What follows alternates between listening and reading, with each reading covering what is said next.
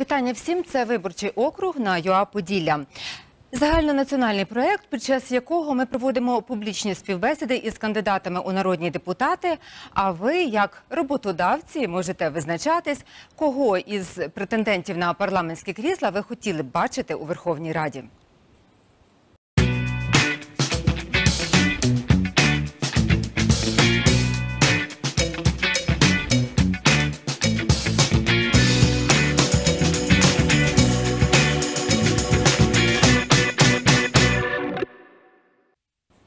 У попередніх випусках ми поспілкувалися із кандидатами від 187, 188 та 189 округів на черзі 190.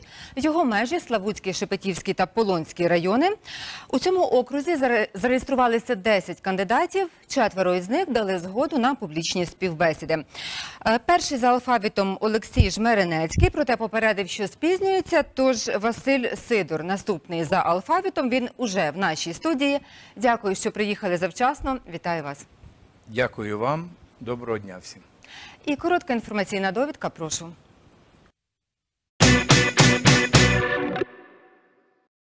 Сидор Василь Богданович народився у Нетішині у 1963-му. Закінчив Український інститут інженерів водного господарства та міжрегіональну академію управління персоналом, кандидат технічних наук. З 1989-го працює на керівних посадах. З 2006-го Славутський міський голова. Декларує квартиру у Славуті 59 квадратних метрів. За минулий рік отримав 549 тисяч зарплати. Готівкою та на рахунках банку має 466 тисяч гривень, 20 тисяч доларів та 903 євро. Одружений, член політичної партії Всеукраїнське об'єднання Батьківщина. Балотується від цієї ж політсили втретє. Пане Василю, наголошую, не вдаємося до агітації.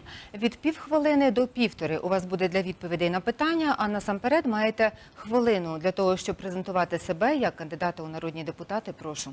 Зрозумів, дякую.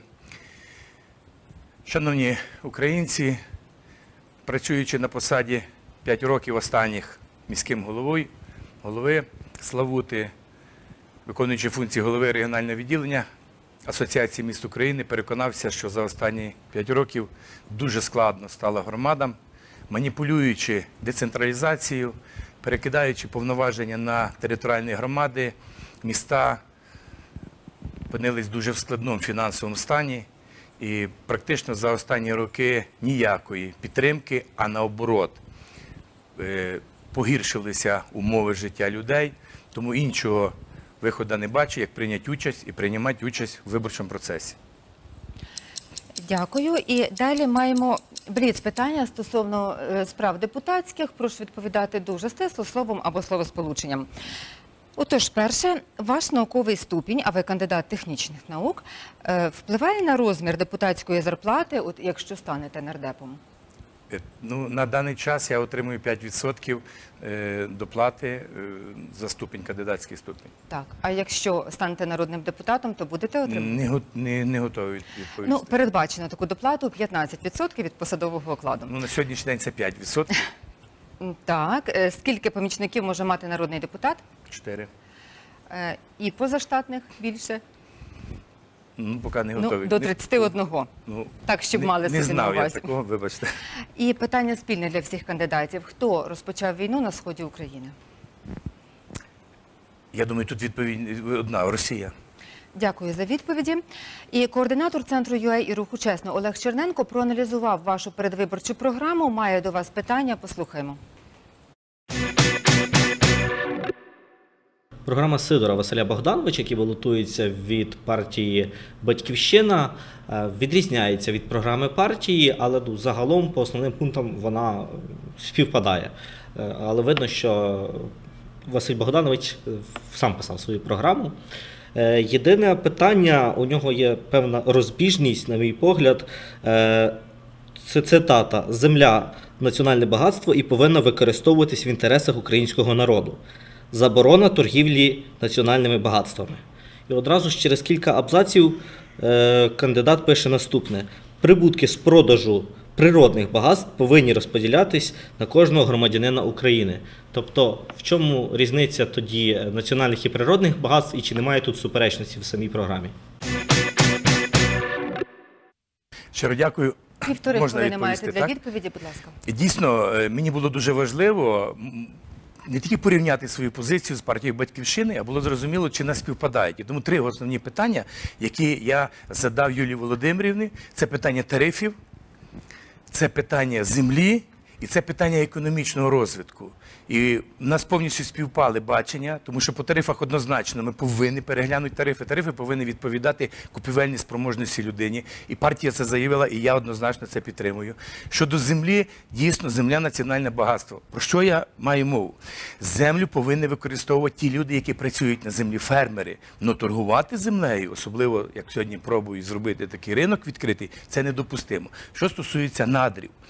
Є багато держав в світі. Одна із них Норвегія, де кожен громадянин, житель цієї держави, в зв'язку з тим, що добувається недри, надра отримує відповідні кошти на свій рахунок, які можна використати для навчання, для придбання житла і так далі. Це правильно. І ми до цього дійдемо обов'язково. І я буду в цьому переконувати всіх депутатів. І щодо економіки.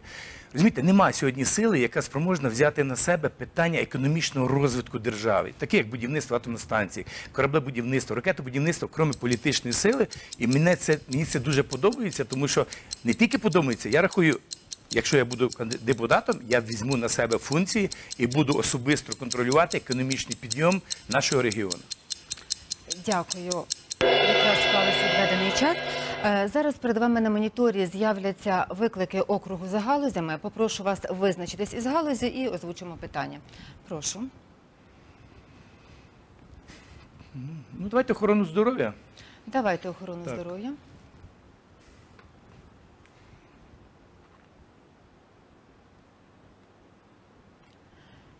Кожен сороковий житель області, це понад 33 тисячі, перебуває на обліку як онкохворий.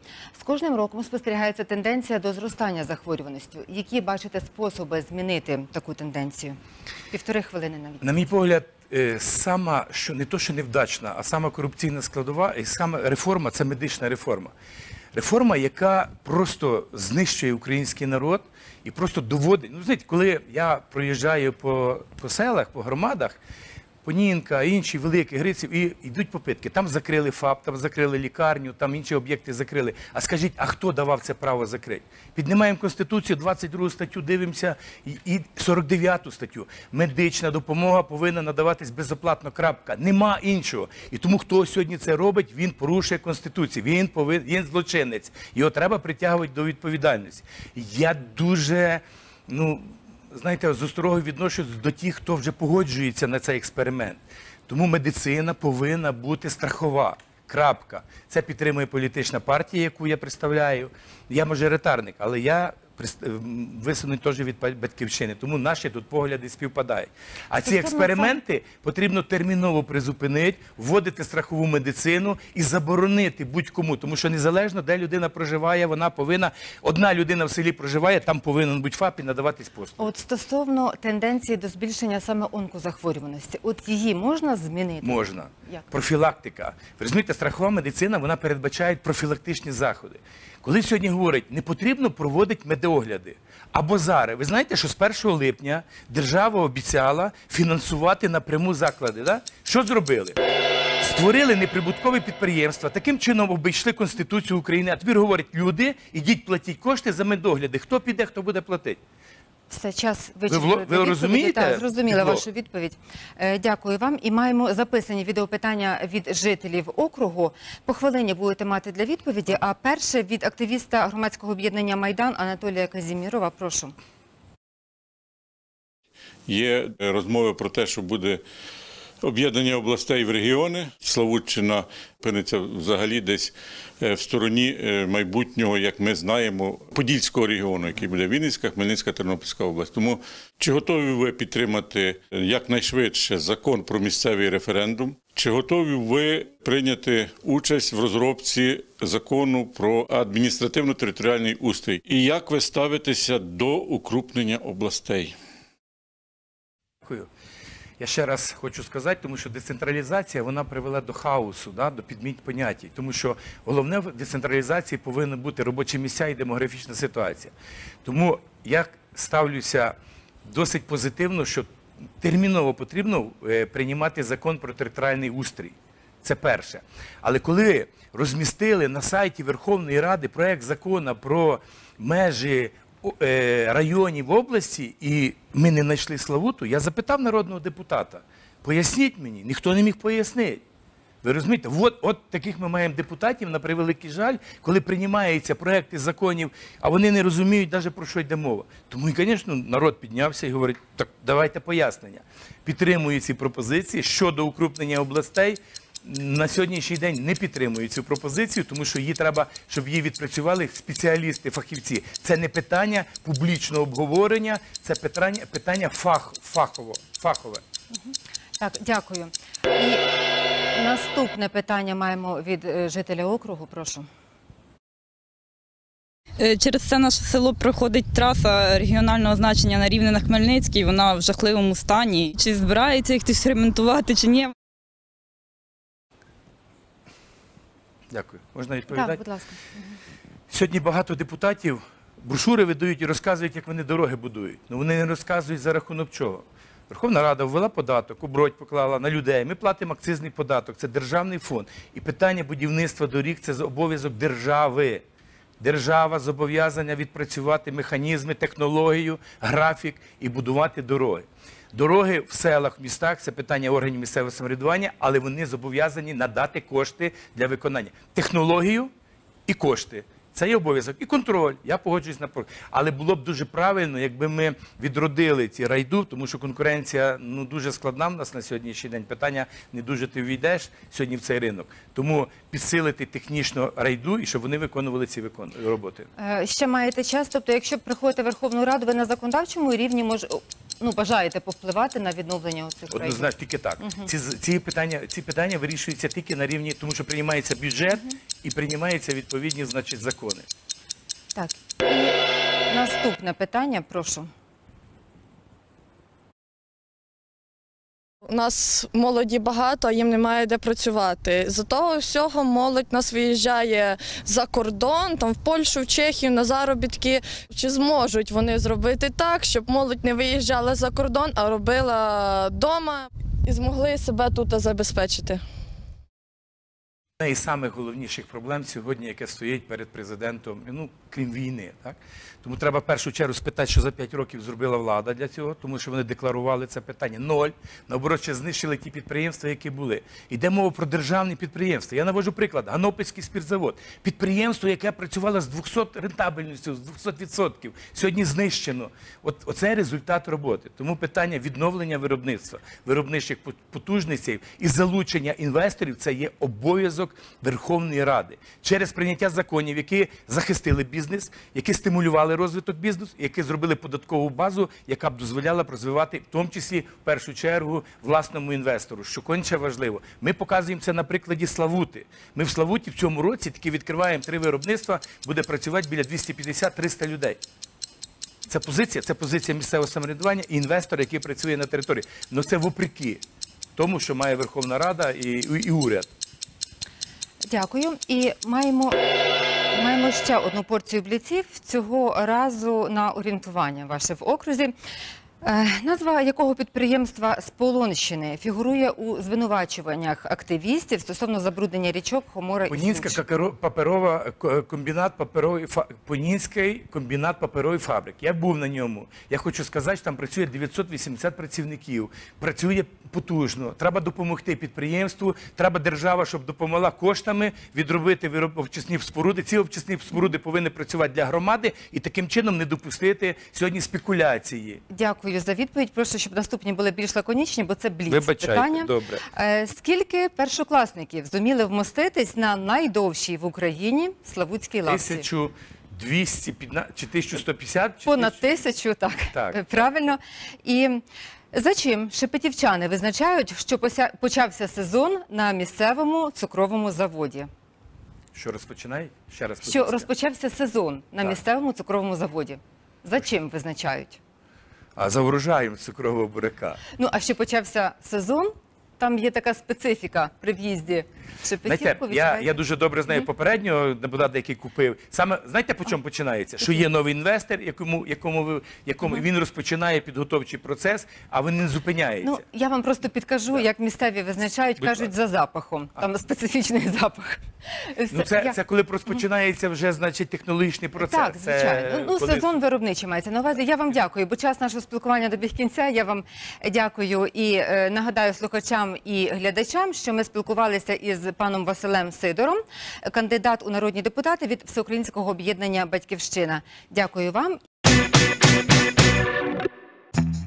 Якщо ви хочете звернутись до народного депутата, ви можете завітати до приймальні народного депутата особисто або написати звернення. Воно подається у формі пропозиції, заяви або скарги. Пропозиція звернення громадян, де висловлюється порада, рекомендація, заява звернення громадян із проханням про сприяння реалізації їх прав та інтересів. Скарга звернення з вимогою про поновлення прав і захист законних інтересів громадян. У зверненні вкажіть прізвище, ім'я та по батькові депутата, до якого ви звертаєтесь, а також адресу, на яку ви відправляєте звернення. У зверненні треба чітко викласти суть. Вкажіть свої дані, ім'я, прізвище, адресу та контактний телефон і поставте дату та підпис. Ви можете залишити звернення особисто в приймальні депутата, надіслати листом звичайною або електронною поштою. Звернення розглядаються у термін не більше одного місяця від дня їх надходження. Контакти депутата ви можете знайти на сайті Верховної Ради України у розділі Народні депутати. Детальніше в законі України про звернення громадян.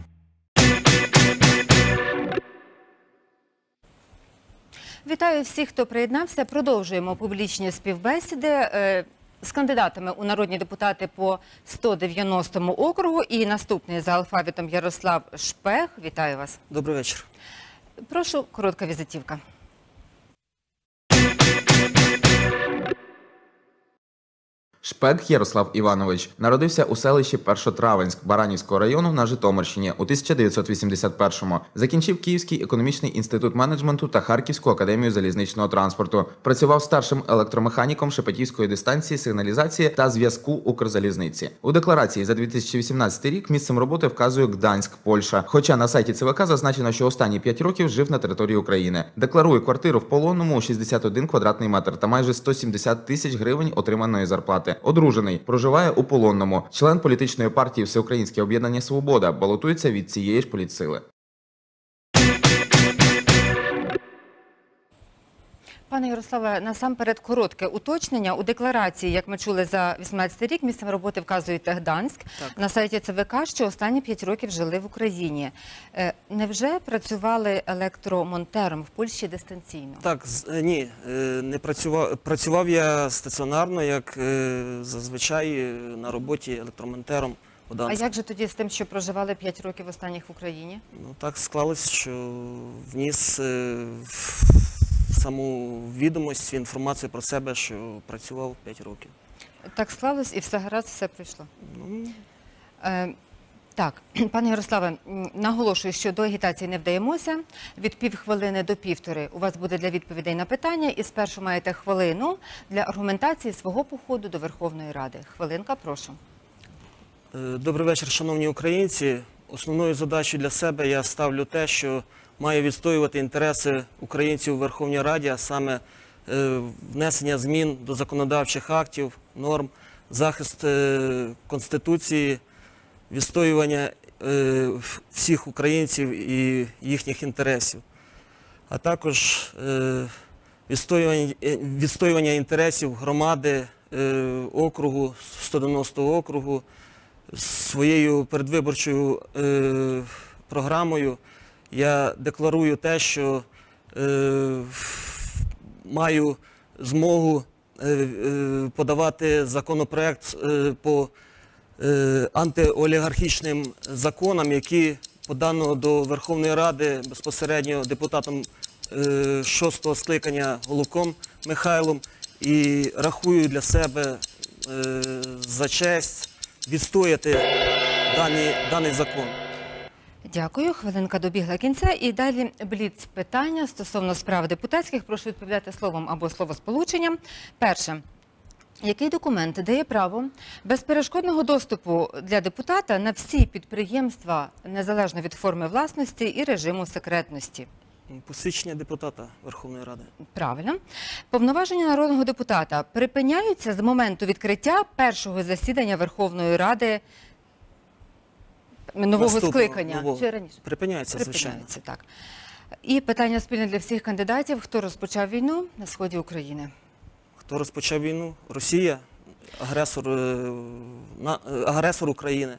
З першим блоком завершили. І координатор центру ЮЕ і руху чесно Олег Черненко проаналізував вашу передвиборчу програму. Маю до вас питання. Прошу, Так. дивімося. Програма Шпега Ярослава Івановича від е, партії Свобода дублює програму е, партії Свобода, фактично пункт в пункт. Одразу виникає питання до кандидата, що саме е, для округу він планує зробити, якщо його оберуть депутатом.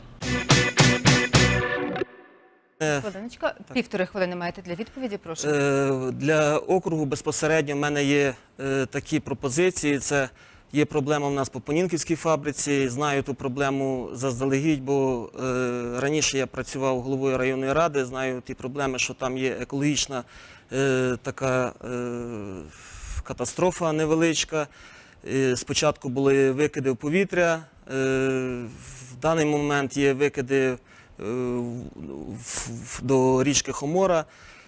Е, Для того, щоб усунути дане питання, я рахую, що треба на законодавчому рівні, тобто при Верховній Раді, створити спеціальну комісію, яка поставить е, вузькі рамки виконання е, заходів по усуненню даних недоліків, а саме по розбудові очисних споруд в селищі Понінка. Те саме, так само те, що стосується мого округу, я бачу першочерговим завданням для себе це е, на сьогоднішній день вирізка лісу. Я рахую, що треба заборонити впродовж п'яти років взагалі е, вирізку лісу на законодавчому рівні. Е, що стосується е, залізничників, бо ми знаємо, в Шепетівці це узлова станція, багато залізничників теж спілкувався з головами профспілок.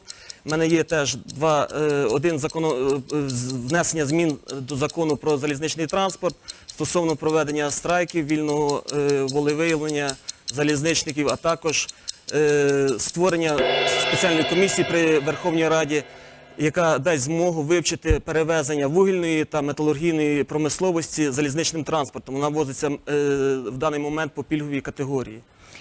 Це є е, Ви вже вичерпали свій час і буквально уточнення, що ваша програма повністю аналогічна до програми партії. Це з чим пов'язано?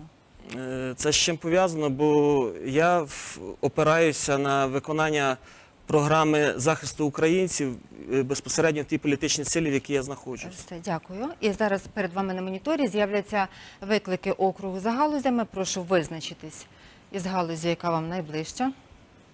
Ну, давайте транспорт. Давайте транспорт. Наприкінці 17-го обласна рада прийняла програму відновлення та розвитку комунального підприємства Аеропорт Хмельницький на 18-22 роки із загальним фінансуванням 725 мільйонів. У березні цього року на інвестиційному форумі підписано три меморандуми стосовно відновлення аеропорту. Як вважаєте, цього достатньо? Чи що слід робити ще далі? Е, Ну, перш за все, треба бачити кошторис даного проекту, скільки він коштує і скільки потрібно для того для виконання повністю всіх робіт е, по даному проекту. Я достеменно не володію, скільки е, коштів потребує залучення на даний об'єкт. Ну, взагалі вважаєте, що вартий цей об'єкт того, щоб залучати під нього кошти? Ну, Чи потрібен аеропорт? Звичайно, аеропорт потрібний, бо завдяки аеропорту буде розвиватися місто, буде якесь сполучення, скажімо, з іншими е, країнами чи іншими містами. Е, Будуть е, більше відвідування людей, туризм. Е, Це теж якби принесе додаткові надходження до бюджету міста. Скажіть, чи потребує це, як ви вважаєте, вирішення цього питання, відновлення роботи якихось певних кроків у Верховній Раді? Чи вистачить того, щоб владнати це питання на місцевому рівні? Е, По даному питанню. Так, саме по відновленню роботи аеропорту. Е, Звичайно, потрібні залучення від уряду.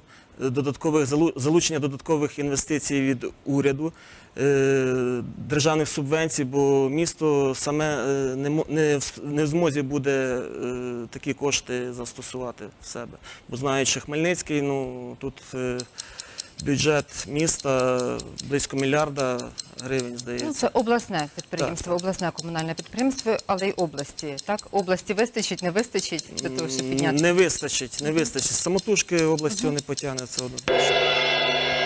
Маємо записані відеопитання від жителів округу. По хвилині будете мати для відповідей. І прошу перше. Чи готовий кандидат відстоювати позицію шепетівських залізничників? Ну, Однозначно. фактично, ви вже відповіли Так. на це питання. Можете дещо додати, бо маєте хвилину.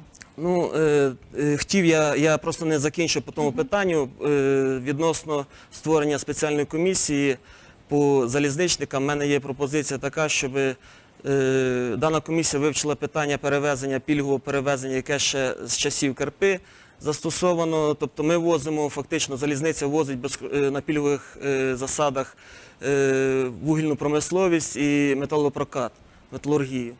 Е, Саме звідти от зараз залізничники невдоволені тим, що мала заробітна плата. Е, Вони е, керівництво залізниці не, ну, каже, з якої ніші ви можете дістати ту заробітну плату. От якраз цієї ніші ми можемо достати, бо е, чому, е, скажімо, ми е, напівдержавне підприємство може перевозити е, приватні підпри- е, приватного підприємства якісь вантажі. Я цього не розумію. Дякую. Прошу наступне запитання. Головною проблемою понінок та прилеглих територій є діяльність картонно-паперової фабрики, що створює загрозу екологічної катастрофи. Діяльність цієї фабрики створює забруднення річок Хмельницької і Житомирської області. Ні екологи, ні влада не змогли вирішити це питання. Що ви, як народний депутат, зробите для вирішення цієї проблеми? Не знаю, як так вийшло, що ви випередили вже два питання в своїх попередніх відповідях, але маєте можливість уточнити, доповнити. Можливо, чи для вирішення цього питання теж визначає тих інструментів, які зараз є- є на рівні місцевої ради, чи все ж таки має бути втручання на законодавчому рівні? Прошу. Має бути втручання. Я рахую, що сюди маємо підключити е, як і уряд, так і депутатський корпус, так само з залученням громадськості, щоб поставити вузькі рамки е, керівництву фабрики, бо вони 4 роки тому гарантували, що вони будуть е, будувати після е, фільтрів очисних, які е, захищають від викидів в повітря, вони будуть будувати очисні споруди. Е, В той час керівником була інша особа. Він мені гарантував те, що він е, візьметься за відновлення очисних споруд. Вони були в той час в занедбаному стані. Ну, однозначно, треба контролювати цей процес, бо якщо отако спустити все на самоплив, то е, я просто вже з власного досвіду бачу, що ну, не дотримують вони того свого слова. І останнє запитання від жителів. Останнє запитання від жителів округу, прошу.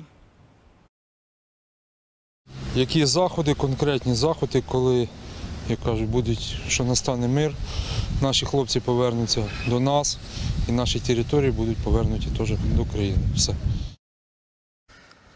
Ну, Заходи, перш за все, це має бути звернення е, депутатів Верховної Ради до міністра оборони і до президента, щоб е, замінити мінські перемовини на е, Будапештський меморандум. Е, оскільки в 94-му році Сполучені Штати і Британія вони виступали гарантом для України е, в той час, коли Україна відмовилась від ядерної зброї, гарантували нашу безпеку. Тому тільки через залучення е, сильних світу цього США і Британію, які, я думаю, спроможні е, мирним шляхом провести перемовини з Росією, щоб вона все-таки забрала свої е, війська, які перебувають на сході України. І ще одна порція бліців на завершення цього разу на орієнтування в окрузі. Е, На, от перше, прошу дуже стисло відповідати. На території вашого округу протікає дві річки із назвами домашньої птиці. Це які? Домашні птиці. Угу. Це Шепетівський, Славутський райони. Добре, це гуска і утка. Йдемо далі. Е, Яке місто у цьому році змінило дату свого е, дату святкування свого дня народження? Місто в вашому окрузі. Так, Шепетівка, правильно, з вересня на червень змінила. І від Полонного далі до Хмельницького чи до Житомира? До Хмельницького. Правильно, до Хмельницького на 20 кілометрів. Дякую за участь у публічних співбесідах. Дякую вам. Нагадую всім, ми спілкувалися із Ярославом Шпегою, кандидат у народні депутати від Всеукраїнського об'єднання Свобода. І за хвилину чекаємо у нашій студії Олексія Жмеренецького.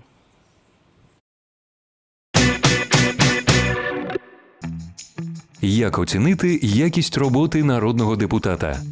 Хочете знати більше про народного депутата? На сайті Верховної Ради України ви можете знайти таку інформацію: відвідуваність пленарних засідань Верховної Ради, голосування депутата, переходи по фракціях, посади, які депутат обіймав протягом скликання, хронологія виступів депутата, депутатські запити, відомості про законотворчу діяльність, декларації про доходи.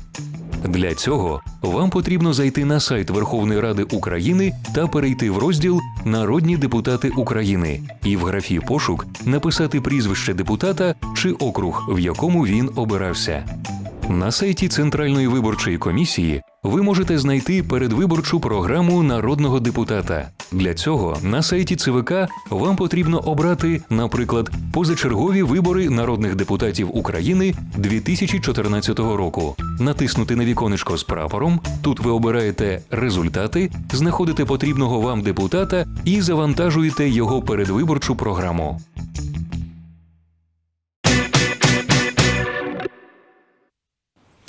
Вітаємо всіх, хто щойно долучився до публічних співбесід. Продовжуємо їх із кандидатами у народні депутати від 190-го округу. Е, Першим за алфавітом не встиг е, стати Олексій Жмеренецький через пізнення, але точно залишається першим за зростом. Вітаю вас, пане Олексію. Е, Коротка біографічна довідка. Жмеренецький Олексій Сергійович народився у місті Ухта в Росії у 1986-му. Закінчив Хмельницький національний університет та Національну академію державного управління при президентові України. Громадський діяч і публіцист, експерт з питань інноваційного розвитку суспільства, програмний координатор Київського міжнародного економічного форуму, автор численних аналітичних і публіцистичних матеріалів у провідних українських виданнях. Декларація відсутня. На сайті ЦВК вказує, що проживає у Хмельницькому. Сторінка у Фейсбук зазначає Київ місцем його проживання. Неодружений, безпартійний, балотується від політичної партії Слуга народу. Пане Олексію, не вдаємося до агітації.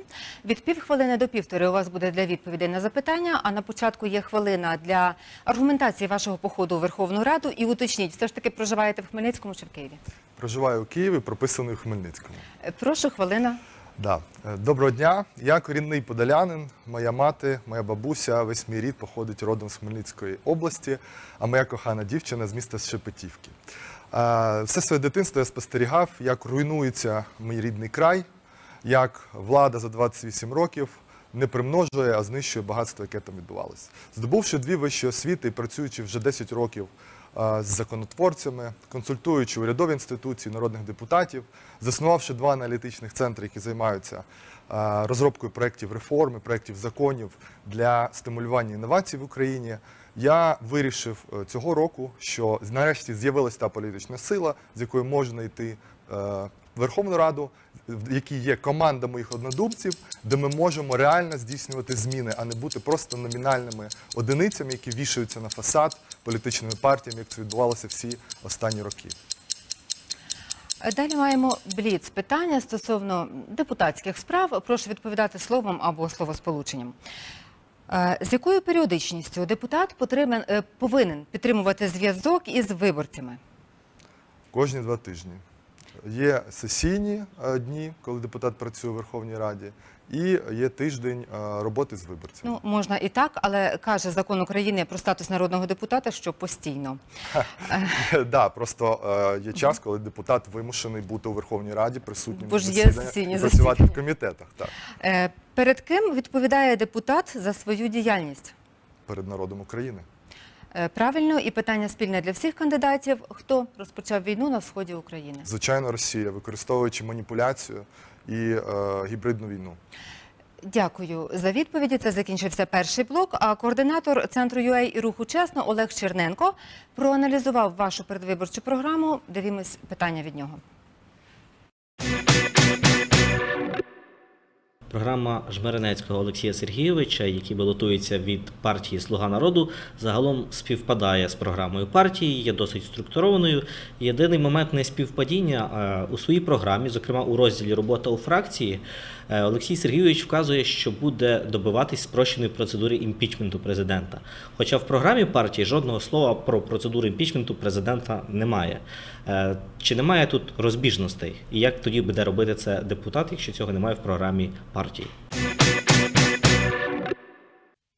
Півтори хвилини маєте для відповіді і, можливо, ще окреслення пріоритетів своєї Мгм. програми. Прошу. Вже багато років я з колегами займаюся розробкою законодавства в сфері референдумів. Ми глибоко вивчили досвід Швейцарії і розробили закон, проект закону про референдуми для України, як місцевого, так і загальноукраїнського рівня.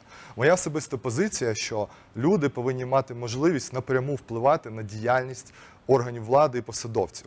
Наприклад, у Швейцарії, якщо закон, який прийнятий парламентом, не подобається людям, то в період 30 днів можна зібрати підписи на ініціювання референдуму і на референдумі скасувати цей закон. Також в кантонах Швейцарії можна відкликати будь-якого депутата парламенту місцевого або навіть розпустити сам парламент. Моя особиста позиція, що ніколи не настане відповідальність ані чиновників, ані обраних посадовців чи президента, якщо люди не будуть мати прямої, прямого впливу в реальному режимі часу на цих людей. Тобто, якщо президент не влаштовує народ України, то так само як можна ініціювати референдум по будь-якому питанню, можна повинна бути можливість ініціювати питання і по е, відкликанню президента або розпуску парламента. Якби така процедура існувала в 2014 році, не було би майдану. Янукович, який пішов проти інтересів всього українського суспільства, був просто усунутий з своєї посади мирним шляхом. Тому в партії я буду цю позицію відстоювати, і вона зовсім не протирічить загальній позиції Зеленського по е, розширенню прямої демократії в Україні. Дякую вам. Зараз перед вами на моніторі з'являються виклики округу за галузями. Попрошу визначитись із галузею і буде питання. Давайте охорону здоров'я. Давайте охорону здоров'я. Петиція за легалізацію медичного канабісу набрала необхідну, необхідні для розгляду 25 тисяч голосів. Відповідний законопроект було зареєстровано в цьому році у Верховній Раді. Якщо потрапити у Верховну Раду, підтримаєте такий законопроект? Сьогодні існує безліч е, наукових досліджень, які доводять, що е, канабіс або канабіол, якщо бути точним, це речовина, яка виділяється з певних рослин, допомагає людям хворим на епілепсію, допомагає людям хворим на рак.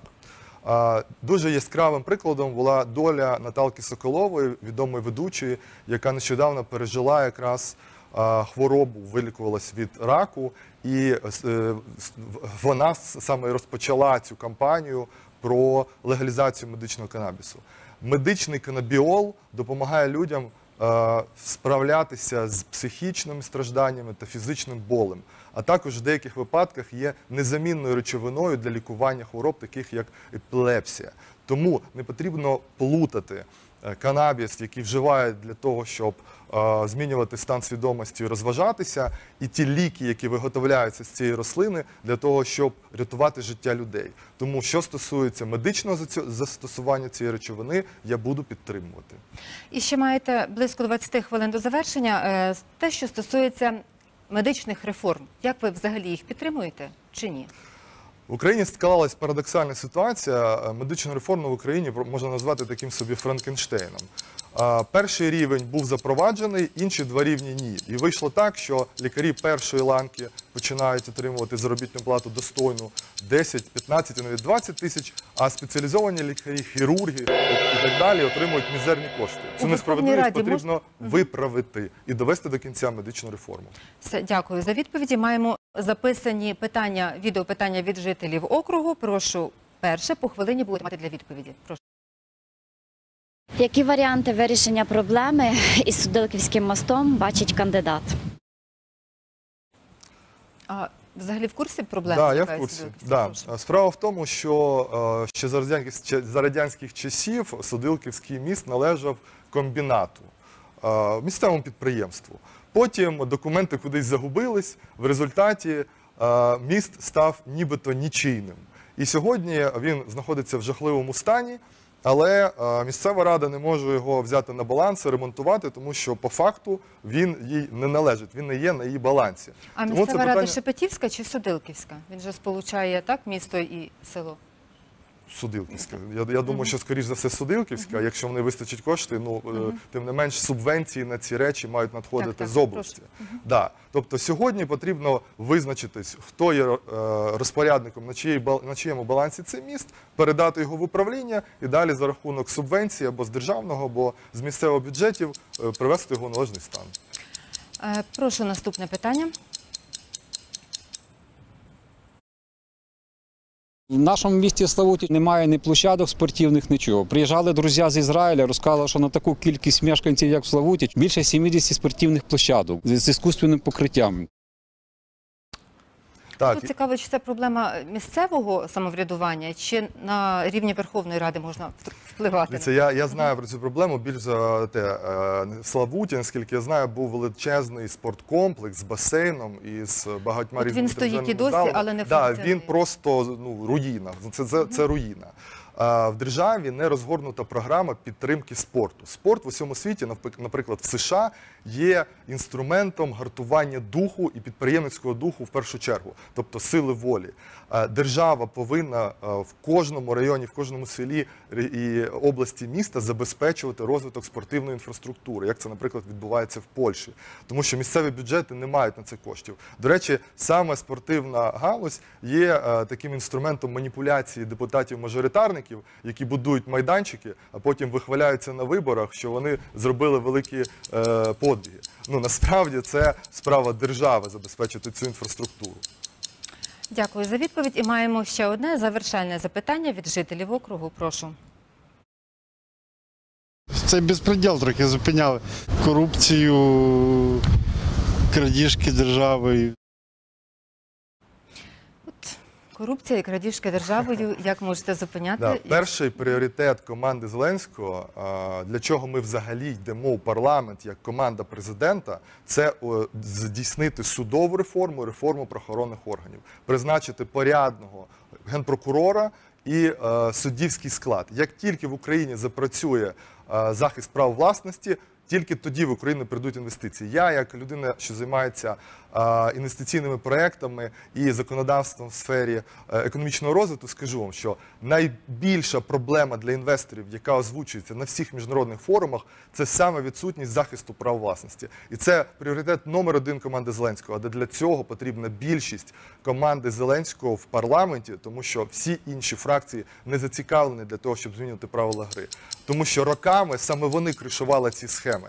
І лише зараз 73% людей знесли цю систему і зробили перший крок, і нам потрібно зробити другий крок і зробити більшість президенту в парламенті. І на завершення ще одна порція бліців. Цього е, разу на ваше орієнтування в окрузі, по якому балотуєтесь. Прошу дуже лаконічно відповідати, буквально короткими реченнями або словами. Отож, скільки об'єднаних тергромад у Шепетівському районі? Близько Небагато. 10. Три. Е, який з міст у вашому окрузі найповажнішого віку? Шепетівка. Полонне. І де на вашому виборчому окрузі найдовша лавка? Ну Я думаю, що ви цього не знаєте, просто підкажу. Ну, це питання на завершення, знаєте, такі на приблизне орієнтування. Це у Славуті 213 метрів завдовжки і є внесено до книги рекордів України. Я вам дякую за спілкування. Ці 13 хвилин вже добігли кінця. Слухачам і глядачам нагадую, ми спілкувалися із Олексієм е, Жмеренецьким, кандидатом у народні депутати від політичної партії Слуга народу. Обов'язки народного депутата України. Особисто брати участь в засіданнях Верховної Ради, голосувати особисто, брати участь у роботі комітетів і комісій, до складу яких його обрано. Інформувати виборців про свою депутатську діяльність не рідше двох разів на рік, розглядати звернення виборців, проводити особистий прийом громадян у дні, визначені Верховною Радою України. Права народного депутата України пропонувати питання для розгляду Верховною Радою, виступати із законодавчою ініціативою, звертатися із депутатськими запитами, висловлювати свою думку щодо кожного питання, яке розглядається на засіданні Верховної Ради. Детальніше в законі про статус народного депутата України.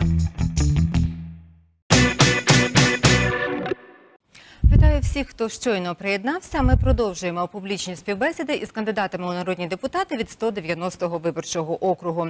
Андрій Щербина, наступний за алфавітом і завершальний на сьогодні. Вітаю вас. Вітаю, шановні виборці. Е, Коротка інформаційна довідка, прошу.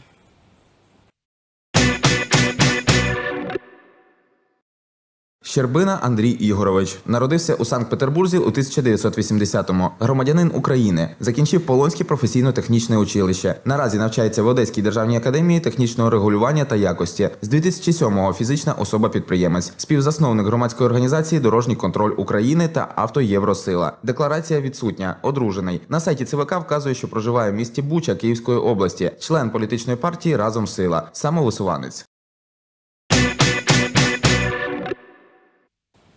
Пане Андрію, не вдаємося до агітації. Від півхвилини до півтори у вас буде для відповідей на питання. А зараз маєте хвилинку для презентації себе як е, кандидата у народні депутати. Прошу хвилину.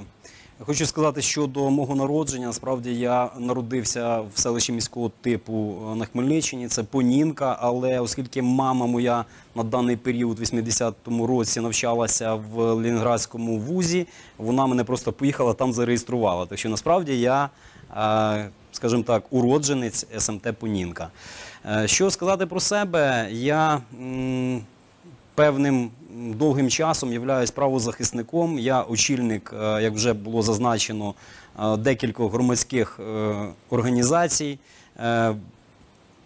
В організації «Автоєвросила» за час її існування об'єднав тисячі українців по боротьбі з автоолігархами. Також являюся учасником Революції Гідності. І для чого у Верховну Раду йдете? Е, взагалі? Змінити нашу країну, е, наше життя е, звичайних людей на краще, відстоювати інтереси звичайних громадян.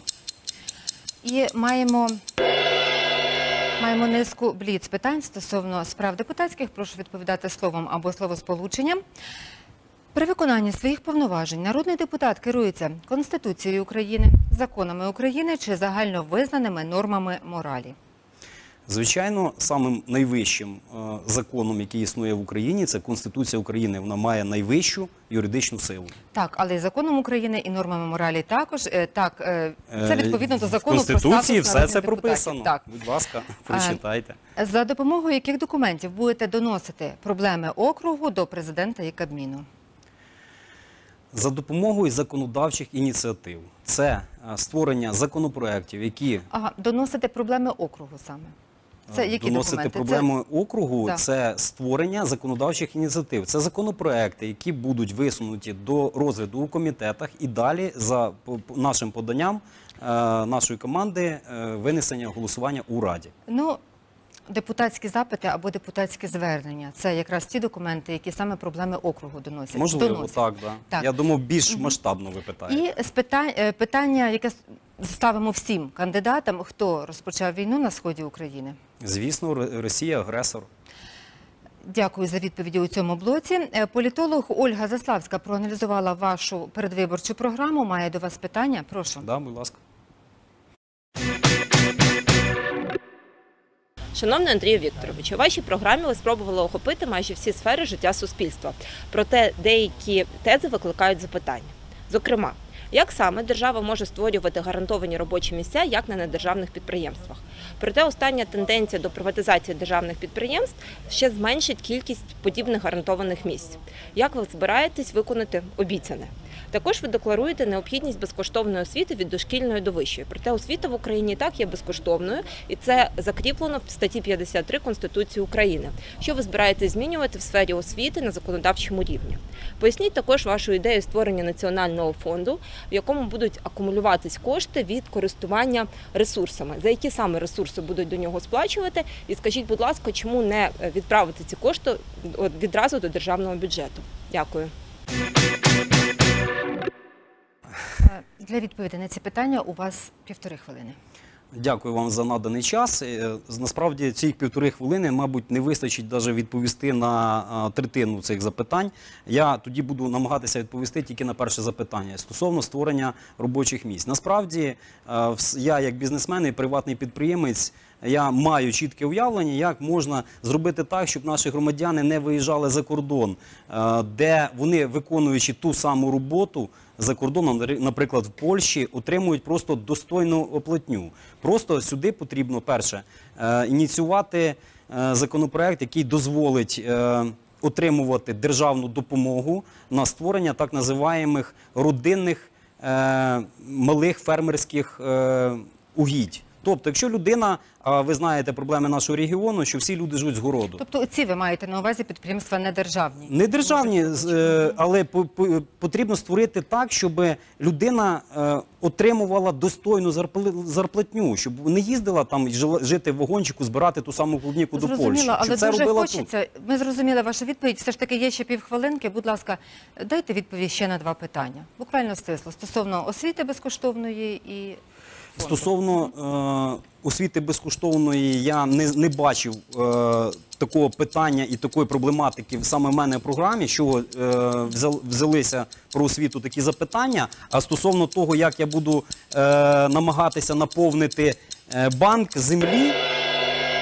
так, будь ласка, закінчіть. Да, банк землі насправді це, якщо будуть визникати такі ініціативи, я звісно буду за, тому що е, земля це право власності. Людина, якщо має згідно конституції е, право розпоряджати своєю власністю. Якщо вона хоче її продати, то будь ласка, продавай. Бо багато стареньких бабушок, які е, не мають Ми зрозуміли. коштів. То йшлося саме про земельний фонд. Да, саме про земельний фонд. Зрозуміло, зараз перед вами на моніторі з'являться виклики округу за галузями. Попрошу вас визначитись із галузю і озвучимо питання.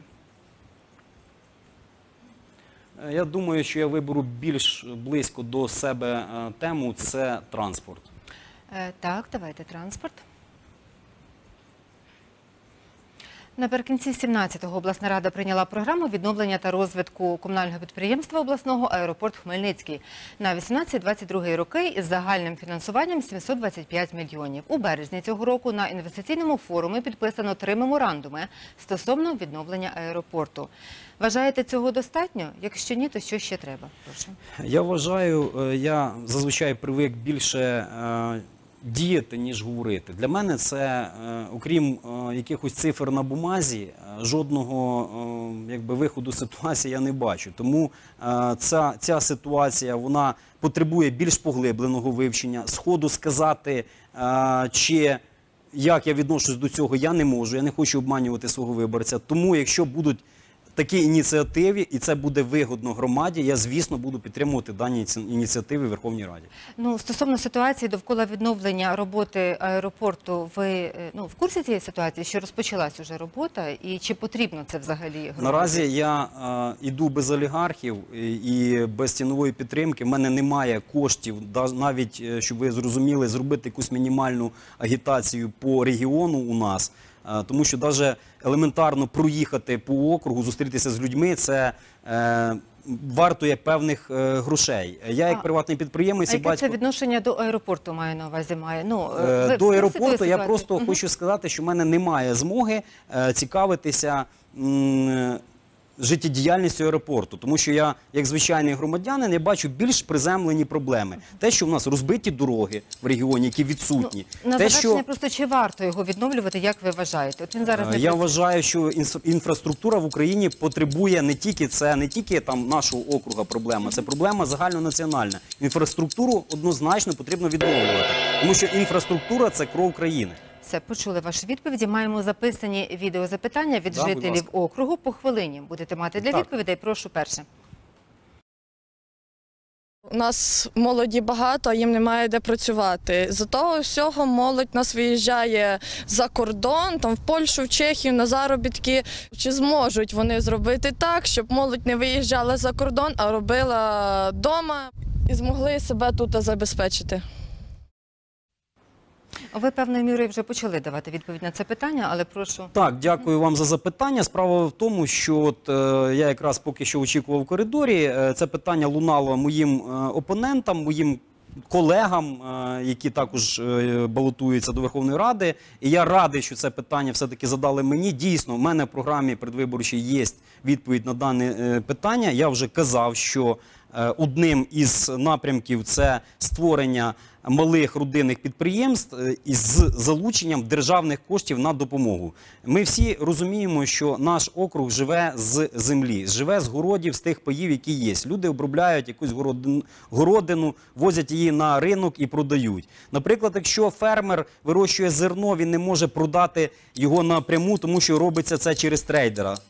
Фермера немає ліцензії. Сюди потрібно пустити е, інвестора е, іноземного, який зможе створити конкуренцію нашим місцевим царькам. А нашим звичайним фермерам надати можливість продавати і збувати свій товар не трейдерам, які мають ліцензію, а напряму за кордон.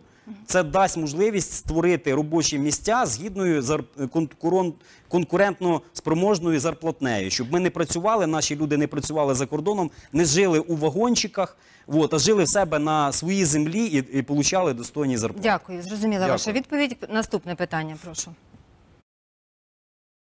Шановні міністри, президенти і депутати, як ви були кандидати, ви дуже багато обіцяли. А тепер ви в простих людей частину пенсій, пільги забрали і ціни до небес підняли. Все.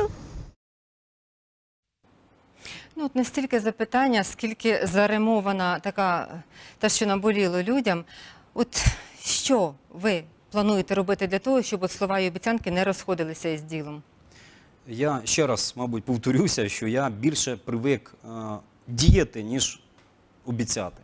І я приложу всі зусилля, щоб дані верстви населення були забезпечені максимально, як це буде тільки можливо. Тому що в мене також тут є батьки, ну я називаю їх батьками, тому що вони мене виростили. Це моя бабушка, Е, вже дідушка помер, на жаль.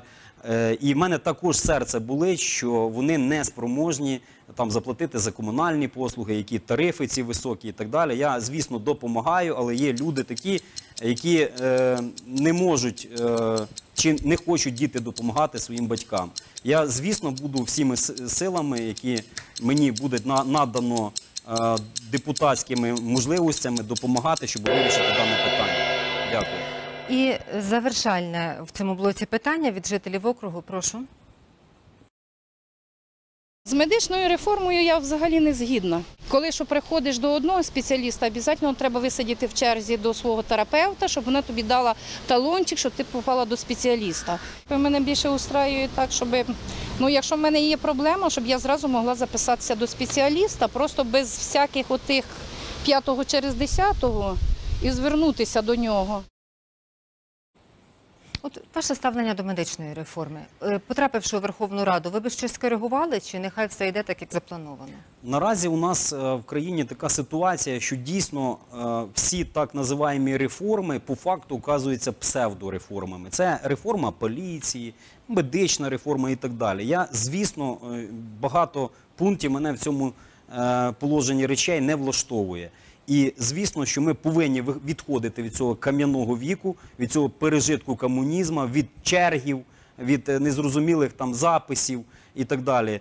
Е, Медицина повинна бути сучасна, е, медицина повинна бути вкрай доступна для незахищеним верствам населення, це пенсіонерам і так далі. І в, нас є ряд спеціалістів з моєї команди, які також вивчили ситуацію навколо цього. І в нас є певні е, моменти і, і плани, як ми зможемо це вирішити. Якщо народ дасть змогу о, втілити це в життя своїми голосами. Е, Дякую за відповіді у цьому блоці. І маємо завершальний. Е, Це також порція бліц питань. Е, Цього разу на орієнтування в окрузі. А до речі, буваєте ви в цьому окрузі? Так, я навідуюся в селище міського типу. Е, буваю, проїжджаю Ну, в Понінку маєте. Понінку, так, в мене ж бабуся тут залишилась е, часто. Так. Я знаю проблематику, яка зв'язана з картонно-паперовою фабрикою. Зараз плотно займаюся тим, що надаю допомогу постраждалій людині, яка е, отримала ураження на, виробри- на виробництві струмом. Там даю їй захист, Пане адвокатів Андрію, і так я далі. вам дякую. Просто добігає кінця наш Так, час. так. Це було так просто уточнення. Чи буваєте Так, Е, усе ж таки на орієнтування ваше? Найбільша річка в окрузі вашому? Случ. Е, Ну, горень, там можна по можна посперечатися. Е, Ну, Случ досить велика річка. Ну, так Десна, само, як примірно як Десна на Чернігівщині. Е, так, як, ну, мається на увазі е, по округу, де протікає яка найдовше. Ну, все, не будемо, це така, е, такий момент. Яке місто, яке місто в окрузі найповажнішого віку? Звісно, полонне. Я ще вчився в ПТУ, коли ми пра- е, святкували е, тисячоріччя міста Полонне. Е, Це саме прав- старе місто. Правильно. І загалом скільки районів в окрузі? Три райони: Славутський, Шепетівський, Полонський. Все правильно. Дякую вам за спілкування. Час відведений нам добіг кінця. Глядачам і слухачам нагадую, ми спілкувалися із кандидатом у народні депутати, самовисуванцем Андрієм Щербиною. На сьогодні завершили. Це були кандидати від 190-го округу. А завтра о 17.10 чекаємо кандидатів від 191-го округу. Уже дали згоду на публічні співбесіди. Е, Шість кандидатів. На сьогодні все. А робіть свій вибір свідомо. Дякуємо.